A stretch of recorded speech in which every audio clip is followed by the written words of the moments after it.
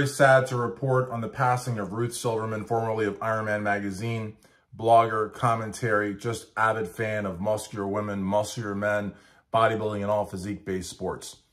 How's it going, everyone? You're watching Strength Addicts on all social media platforms, powered by TitanMedicalCenter.com, your go-to source for all the amazing therapies, number one in patient care, starting 49 out of 50 states, except for Idaho for now. Ruth was a real trailblazer, a pioneer. She was extremely vocal, opinionated, an excellent writer, and someone that I called a friend. Whenever I'd be at the Olympia or bodybuilding shows, if I needed a quote for an article, if I just wanted to talk bodybuilding, I could always message her on Facebook and she was always very honest, to the point, and very sweet as well. And I don't think that she got the respect that she deserves. I think a lot of people recognized that she was an incredible writer and that she had a great eye for bodybuilding, but I don't think that she got the same like respect of like a Peter McGough, for example. And I put her right up there with Peter. I mean, they're on the same wavelength, same quality of writer. I mean, just an incredible attribute to fitness media and to bodybuilding and to contest coverage. And she was just a really, really good person, a great writer, and had a real personality in front of the camera. And that, you know, is, is, is, is not as easy as it sounds. To hold a microphone and ask questions is the basics of it. To be able to come off with great questions on the fly, off the cuff, great you know, on-site commentary and to really know about the athletes and about their journeys, their trials and tribulations, to be able to incorporate that into an interview in a natural way where the athlete feels the love, but also doesn't feel pressured to answer questions that he or she may not want to answer. That is a gift. That comes with a lot of time, doing a lot of interviews, you know, being at a lot of different shows and seeing the sport evolve over eras. And um, last time I remember seeing her, I think was at the 2019 Olympia, 2020 Olympia maybe. We were waiting in line for our press passes. Were we? No, we were waiting in line to get in. We already had our press passes because you get them on Thursday night. So I guess we were waiting to get into the meet and greet. And I remember Linda Murray was there. Ruth was there. Some other people. But I, I just, I just remember talking to her in line and the first thing she says, how are you doing, Christian? And I was just like, you know, I, I didn't know she was in front of me. I was behind her. And I don't even know how she saw me, but, you know, I'm pretty, you know, got a pretty striking appearance. And, uh, and I'm a little bit taller than the average person. Maybe I shook the ground and she, I don't know. I don't know. But um, we just got to talking. And we talked about the late, great Shawn Flexatron Rhoden. And we talked about, I think we talked about Iris Kyle because you guys know I'm a huge Iris Kyle fan. And I think that, I, oh, that's why, because Linda Murray, yeah, I had said something about Iris being like the greatest and it was really weird because Linda was, and I wasn't doing, I didn't know Linda was there. I, am not an insensitive person. I know some of you think that I am, but I'm not. Uh, it's just one of those things, like sometimes you say something and you just have no idea. Now, did I take it back? No, because I think Iris is the best. 10-time Miss Olympia. She's done so much for this as has Linda, and I love seeing them together, but it doesn't mean I don't like Linda. I just think that Iris is the best. And I'm a huge Yaxeni fan. You guys know that. And you know, I've interviewed Yaxeni three, four, five times. Even one time a snake was like, you know, like two feet away from us. But we did not stop the interview because you don't do that when it's a great interview like that, you know? A literal snake and not a little worm, a snake. But we just kept on going over at um, Miami Iron Gym. But in any event, um, we were just in line and it was just talking like, you know, just two fans of bodybuilding. And ultimately, that's what Ruth was. And that's what I am. That's what Peter was. And that's what, you know, contemporary greats like Ron Harris, Kevin Gretch, that's what we are. You know, Jason Songe, we are fans of bodybuilding. At the end of the day, Xavier Wills, Nick Strength and Power, everybody, fans of bodybuilding. You got to be a fan of bodybuilding to be a great journalist or at least a journalist. I mean, I wouldn't call myself a great journalist. I'm just, I do what I do. Got hundreds of articles in Iron Magazine, thousands of videos at Strength Addicts, Muscular Development, you know, Iron Mag TV, a whole bunch of stuff. But I would say that Ruth and Peter are definitely way above my pay grade. Way above my pay grade. They, you know, just they did so much for the sport. And I think that it, it would be, I would be remiss to downplay that, you know. And I've always been a huge fan of the magazines. And the magazines really were where you were either legit or you weren't. You couldn't be like a DIY journalist. You couldn't be a part-time person. You couldn't be a part-time fan. You couldn't be a poser, a wannabe. You couldn't be any of these things. If you were going to land a gig writing in the magazines, the big magazines, you know, Flex, Muscular Development, Muscle Mag, Iron Man Magazine, Planet Muscle, the big, big, you know, magazines, the big print magazines, you know, Reps, uh, you know, Muscle and Fitness. I mean, these magazines were it. And you had to be really good and you had to be at board meetings and you had to talk to the graphic designers and you had to talk to the illustrators. You had to talk to the photographers. You had to talk to the editors and the managing editors and advertising. And it was just like this whole thing. And Ruth was all about that with Iron Man Magazine. And, um, you know, just an incredibly down-to-earth, humble person. But my gosh, did she have an eye for bodybuilding, especially for the uh, female divisions. She was very, very keen on who was coming up, you know, the big champions, the defending champions, returning champions. She knew the ins and outs of the industry. And um, there's not a lot of people that were or that are as well versed as Ruth Silverman was. And uh, you really have to appreciate that when watching commentary because, you know, she's pulling from so many different eras and she's able to, in a natural way, kind of like, you know, make a salad with all of that. You know what I mean? And if you're a real fan, a historian, if you will, like the mayor of bodybuilding or Bob Cicherillo or Shawn Ray or people like that that really just know you appreciate that. It's very hard to get somebody that really knows to be entertained and to feel intrigued. And Ruth could deliver on that. You know, Ruth could deliver on that. Like your Jerry Brainums, you know, your Rick Drazens, your Greg Valentinos, your, your really good storytellers. They could be entertained by Ruth. And entertainment's huge. Entertainment, I think, is as big as as anything, really. Whether it's for an article, whether it's for a posing routine, whether it's to sell a tub of whey protein isolate, it's about entertainment. You have got to be entertained. You have got to be intrigued. You have got to want more. And then you will buy more, or you will read more, or you will go to a show. But entertainment is very, very important. And I think that she was able to tie it all together and write some amazing articles and do some amazing interviews and just really contribute to the media side and, um, you know, the creativity side,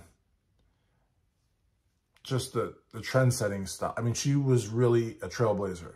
And again, this is an industry that has a lot of female competitors. I mean, I would say it's probably 50-50 male to female. But in terms of writers, in terms of folks doing commentary, especially during her era, there weren't a lot of women like her. I mean, there just weren't. I mean, she was really, truly a trailblazer. She was a pioneer. And I think she was an excellent example for women wanting to do media. You know, when I saw, um, oh my gosh, now it escapes me. Um, hmm. I'm going to, I can't remember right now, but there's a bikini show, an Australian girl. She's awesome.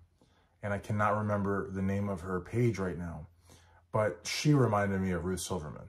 And um, I'm going to look it up afterwards and feel really stupid that I couldn't remember the name of it. And I'll leave it, you know, a little uh, tag in the description. But she reminded me a lot of Ruth Silverman.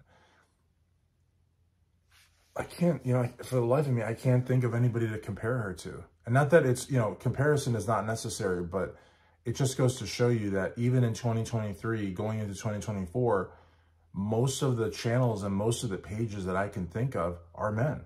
Muscle Sport Mag, Evolution of Bodybuilding, Strength Addicts, you know, RX. Does RX have any women? I mean, they used to have Gail Auerbach. Gail Auerbach, I would consider uh, on, on some level to be like a Ruth Silverman. Gail was in charge of RX Girls. She was out there in the trenches doing interviews. writing articles, very much like Ruth Silverman.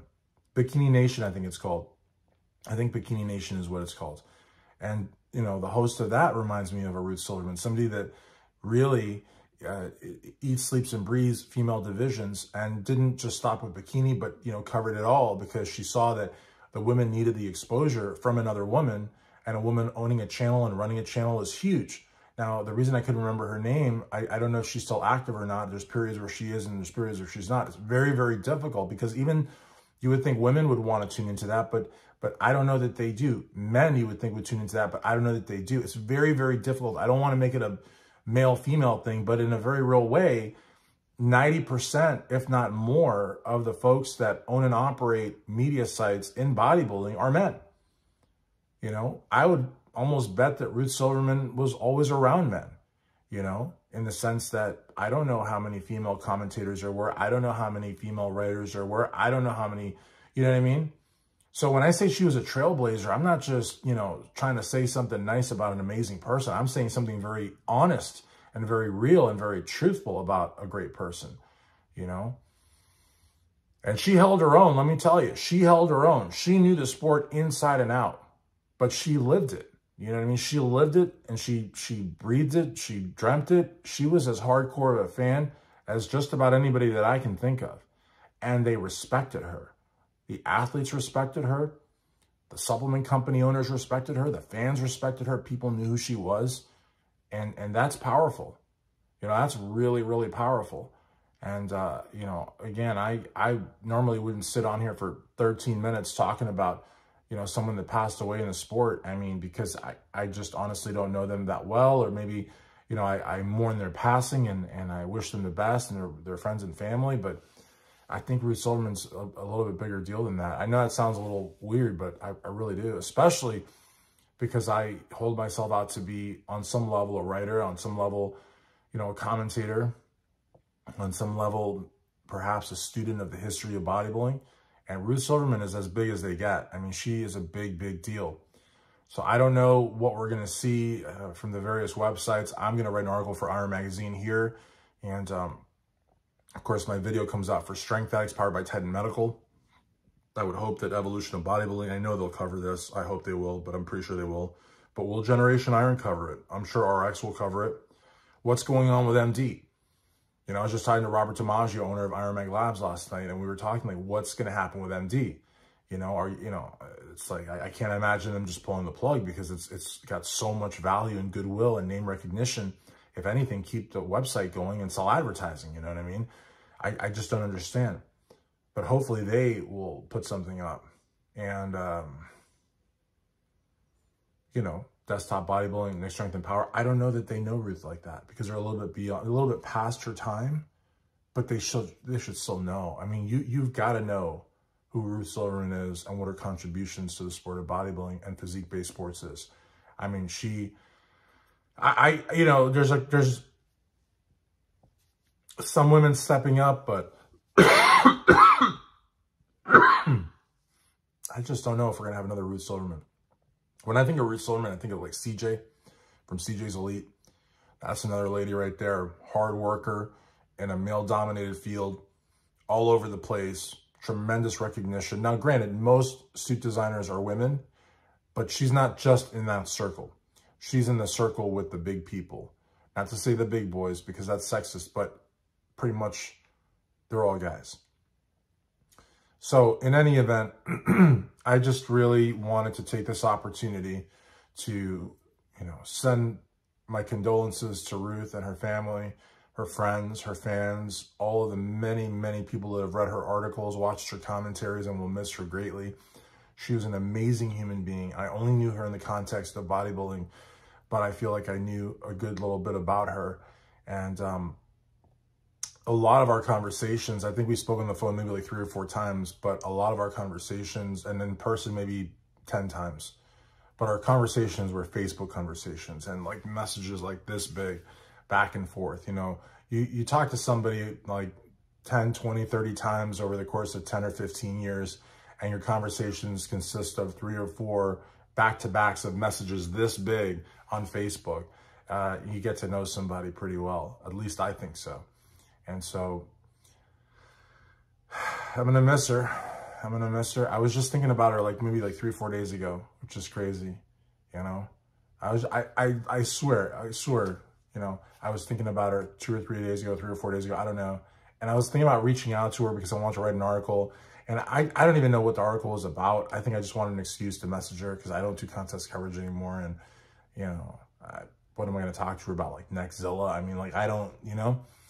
And, and I, I could, I should have just said, Hey, how's it going? Or, you know, what have you been up to? But that's, to me, is a little cheesy, but you know, it's just, it's just really bizarre because like three or four days ago, I was legit thinking about contacting her and might have even gotten to her uh, profile or something. And I, I don't know. I just, I obviously didn't, but wish that I had.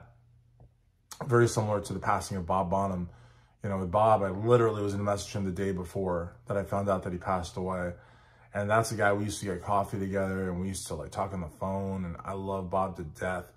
And also, like Ruth, avid fan of muscular women and knew all about women's bodybuilding and women's physique and all the other women's divisions it just goes to show you sometimes you just, you know, you, you know, there's one certain thing in life. If you're born, you're going to die and you don't know when it's going to happen. And you, you try to be as nice to people as you can that you like. And if you don't like them, then you try not to be mean to them. But I just got to say, you know, uh, Ruth Silverman was one hell of a lady. Let me tell you, one hell of a lady, one hell of a writer, one hell of a commentator, just one hell of a person.